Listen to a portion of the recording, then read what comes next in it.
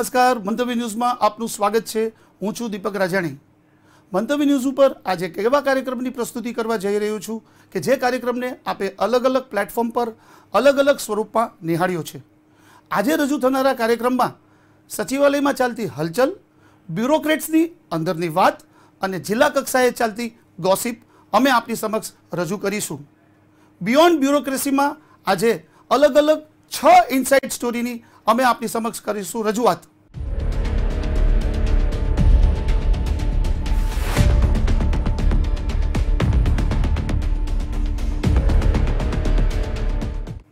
Beyond બ્યુરોક્રેસીના આજના એપિસોડમાં આપણે ચર્ચા કરીશું. રાજ્યના વહીવટીતંત્રમાં ક્યારે આવશે ફેરફારો? આ ફેરફારોની સાથે ગુજરાતના મહેસૂલ સચિવની જવાબદારી કોને મળશે? મિત્રો, બદલીઓની ચર્ચા ચાલી રહી છે ત્યારે રાજ્યના એક સિનિયર મહિલા આઈએએસ અધિકારી ગુજરાતને કરશે ટાટા, બાય બાય. દેશની સર્વોત્તમ ઇન્વેસ્ટિગેશન એજન્સી સીબીઆઈના ડાયરેક્ટરની ખુરશી પર કોણ થશે બિરાજમાન? અને છેલ્લે, એક નિવૃત્ત પોલીસ અધિકારીને મળી શકે છે મહત્વની જવાબદારી. પણ સૌપ્રથમ ચર્ચા કરીશું વહીવટીતંત્રમાં આવનારા ધરખમ ફેરફારો વિશે.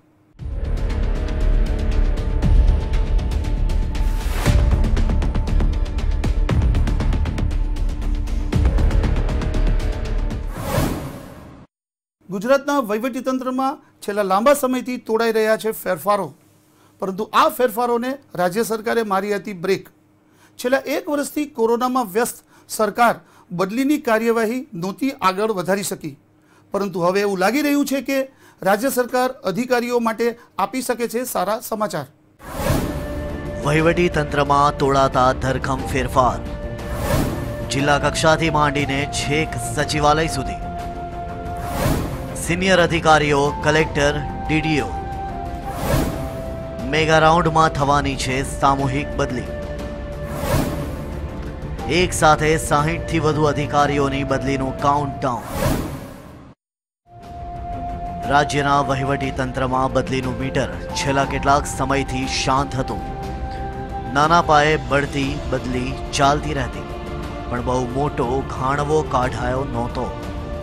પણ હવે એક સાથે જિલ્લા કક્ષાથી માંડીને છેક સચિવાલય સુધી બહુ લાંબુ લિસ્ટ તૈયાર થઈ ચૂક્યું છે. સચિવાલયના સિનિયર અધિકારીઓ હોય કે પછી કલેક્ટર અને ડીડીઓ, આ તમામ ખુરશીઓ પર બાબુ બદલાવાના છે. સૂત્રોના ઇનપુટ્સને માનીએ તો એક સાથે સાહીઠથી વધુ અધિકારીઓની બદલી તોડાઈ રહી છે.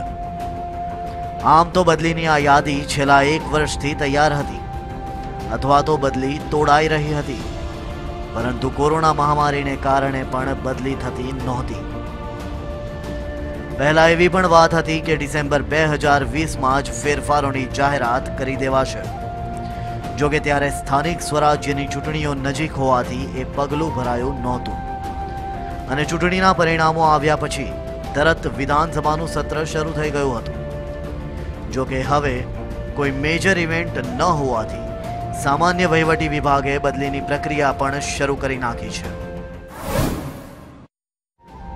એસીએસ પ્રિન્સિપલ સેક્રેટરી કક્ષાના ડઝન અધિકારીની બદલી. નાણાં, મહેસૂલ, આરોગ્ય વિભાગનો હવાલો કોને? ત્રણ ડઝન કલેક્ટર ડીડીઓની પણ થશે બદલી. સુરત, વડોદરા, રાજકોટ સહિતના કલેક્ટર બદલાશે. બાર એડિશનલ કલેક્ટરને મળશે મહત્વની પોસ્ટિંગ.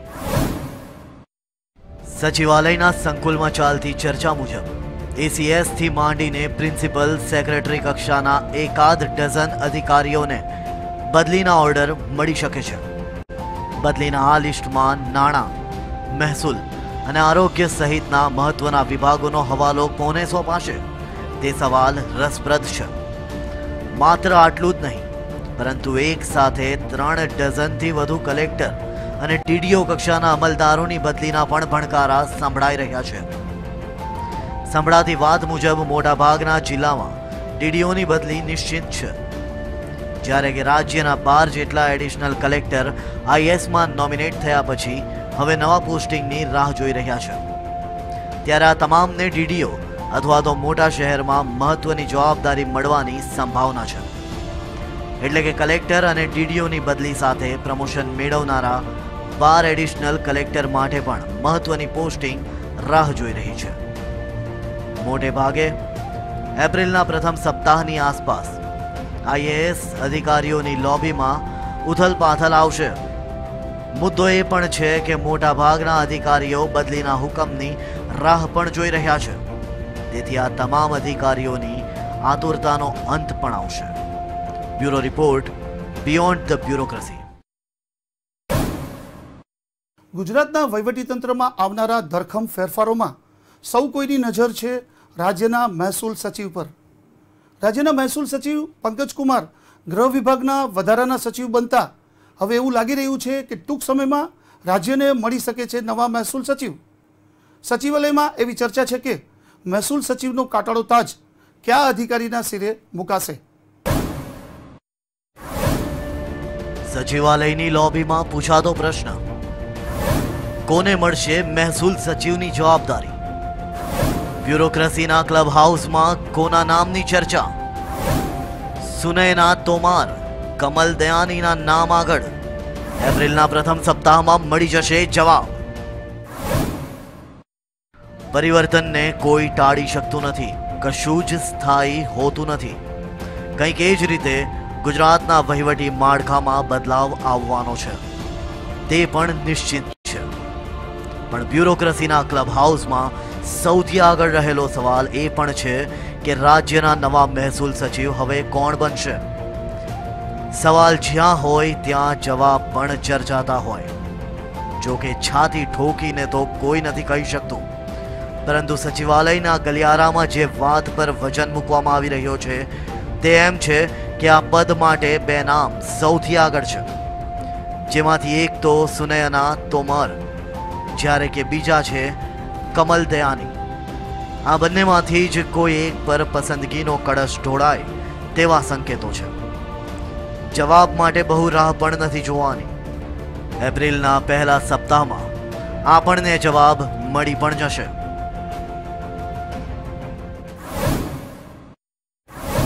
કેમ તોમર અને દયાનીના જ નામ ચર્ચામાં? શું બેની રેસમાં ફાવી જશે કોઈ ત્રીજું? આઈએએસ સર્કલમાં કેમ તોમરનું નામ આવ્યું ચર્ચામાં? રાજ્યના વર્તમાન મહેસૂલ સચિવ પંકજ કુમાર પાસે આ ચાર્જ સાડા ત્રણ વર્ષથી છે. ગયા વર્ષે જ તેમને ગૃહ સચિવનો વધારાનો હવાલો પણ સોંપવામાં આવ્યો છે. તેવામાં એટલું નક્કી છે પંકજ કુમારને આગામી સમયમાં ગૃહ સચિવનો કાયમી ચાર્જ સોંપી દેવાશે. અને એટલે જ પંકજ કુમારનું ગૃહ સચિવ બનવું નિશ્ચિત છે. તેવામાં મહેસૂલ સચિવનું પદ કોને મળશે તે સવાલ થવો સ્વાભાવિક છે.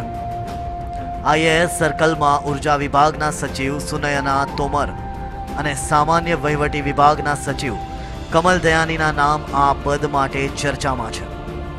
જો કે આ બંનેની રેસમાં કોઈ ત્રીજું ફાવી જશે કે કેમ, તેવું પણ કંઈક સંભળાઈ રહ્યું છે.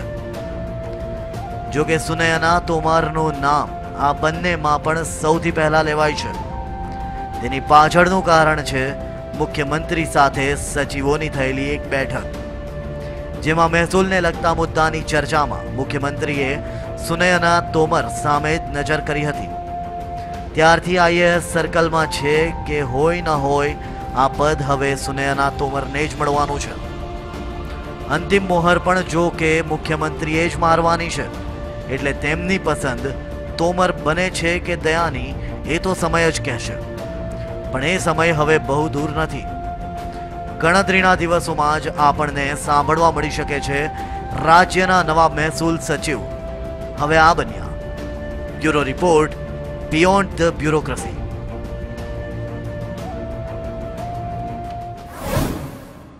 Beyond બ્યુરોક્રેસીમાં સમય થયો છે એક નાનકડા વિરામનો. વિરામ બાદ આપણે ચર્ચા કરીશું સીબીઆઈમાં ડાયરેક્ટરની ખુરશી પર કોનું નામ ચાલી રહ્યું છે આગળ. આપ જોતા રહો બિયોન્ડ બ્યુરોક્રેસી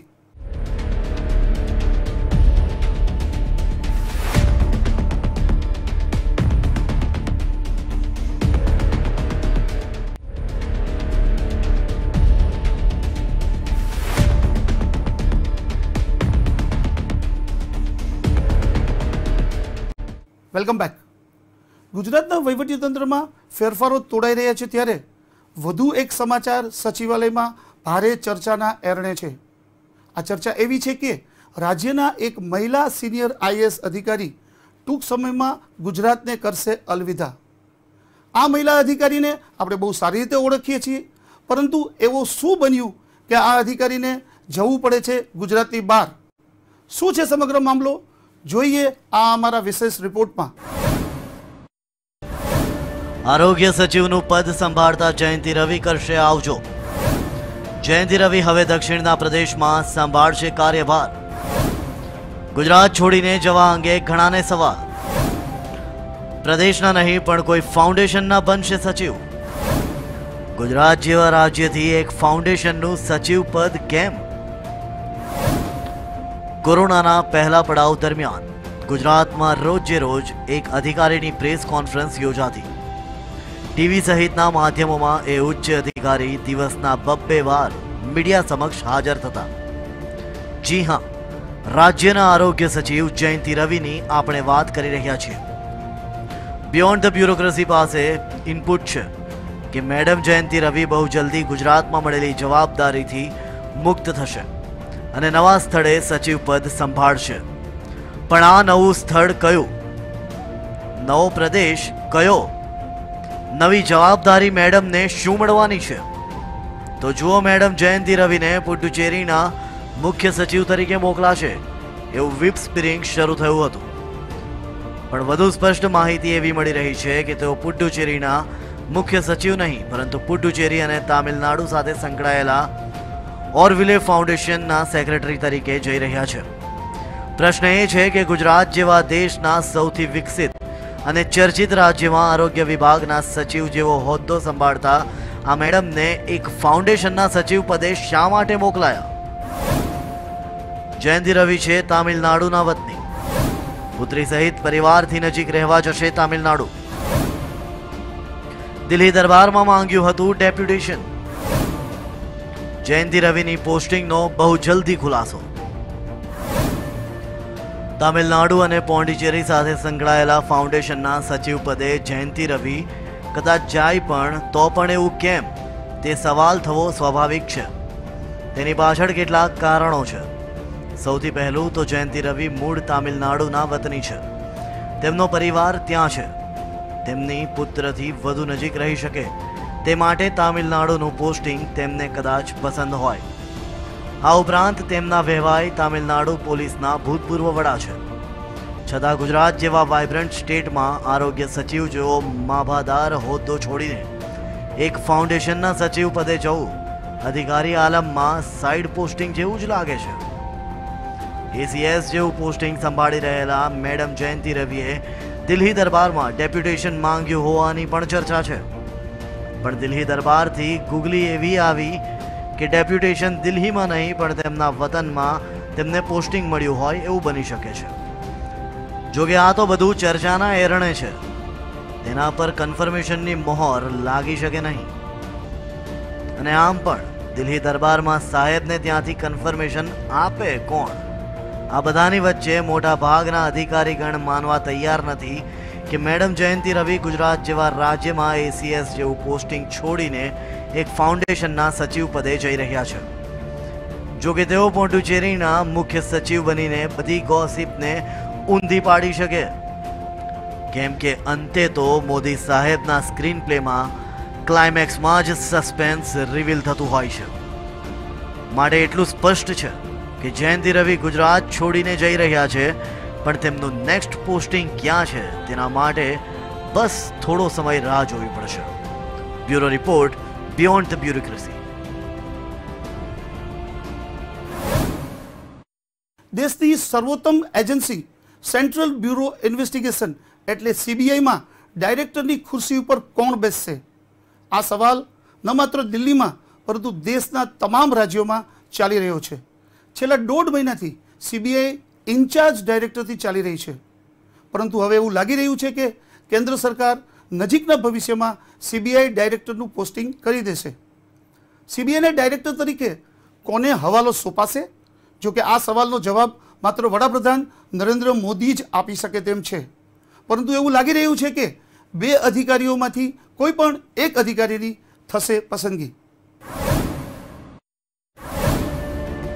સીબીઆઈનું કાયમી સુકાન કોને દોઢ માસથી ઇન્ચાર્જના આધારે સીબીઆઈ કેમ નથી થયું કાયમી સુકાનીનું નામ જાહેર કોના શિરે સીબીઆઈના ડાયરેક્ટરનો તાજ ગુજરાત કેડરના કયા અધિકારીનું નામ આગળ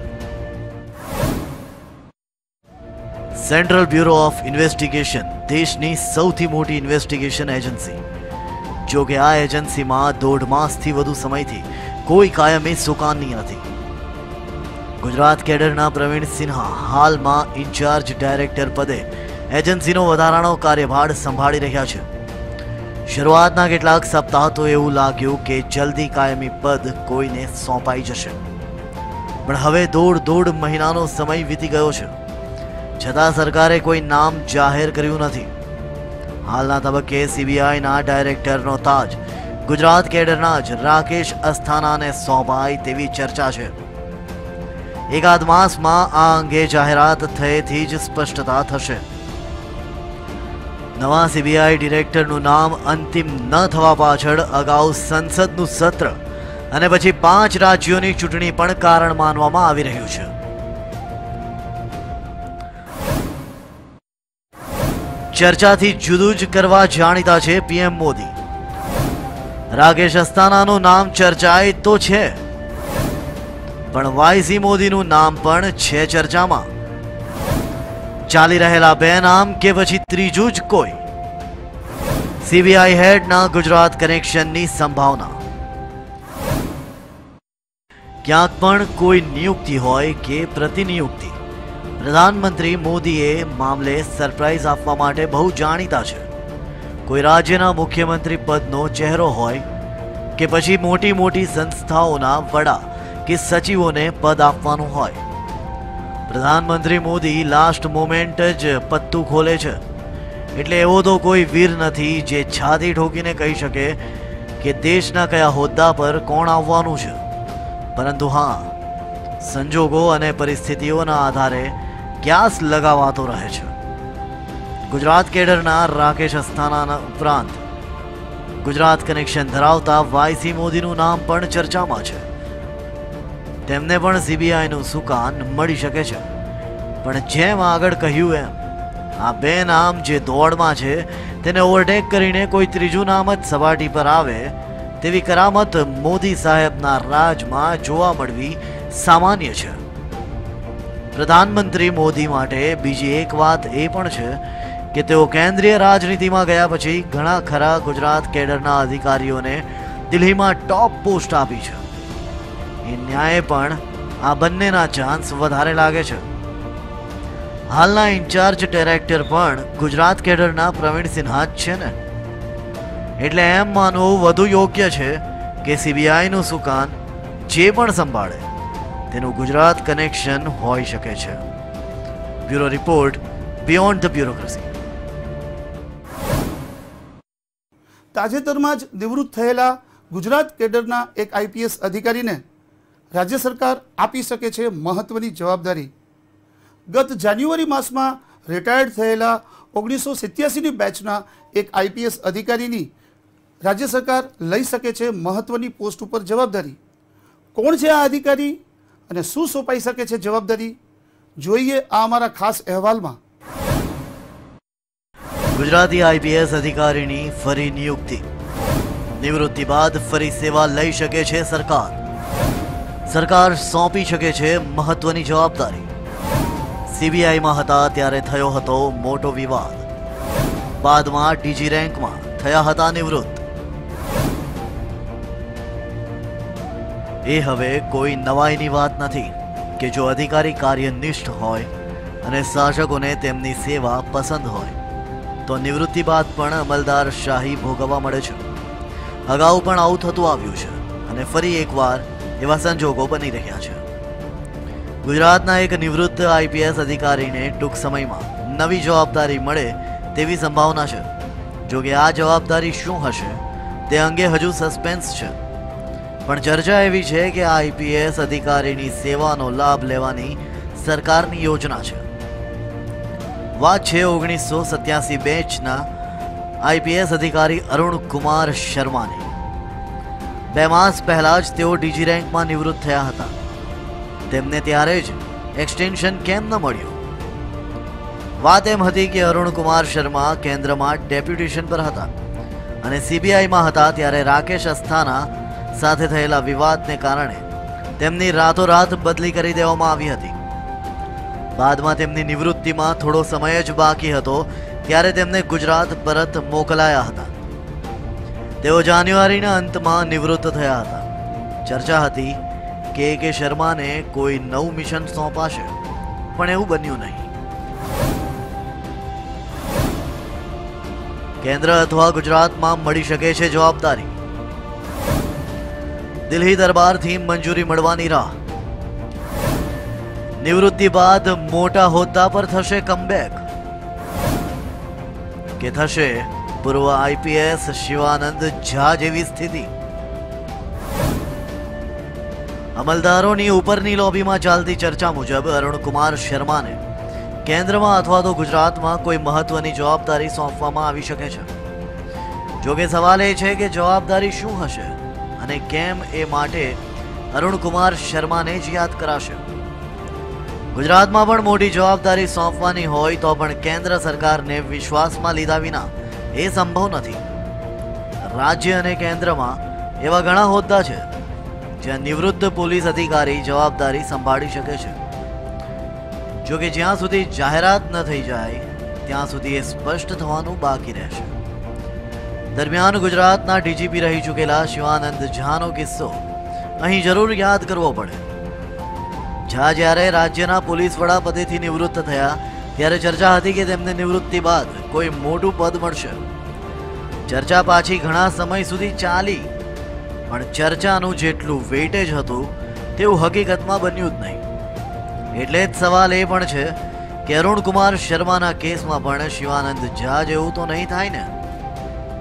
જાણવા માટે થોડો સમય રાહ જોવી પડશે. Bureau report beyond the bureaucracy beyond બ્યુરોક્રેસીમાં આજે આપણે નિહાળી પાંચ ઇન્ટરેસ્ટિંગ ઇનસાઇડ સ્ટોરી છતાં છતાં નજર કરીશું બિયોન્ડ એક્સપ્રેસ પર.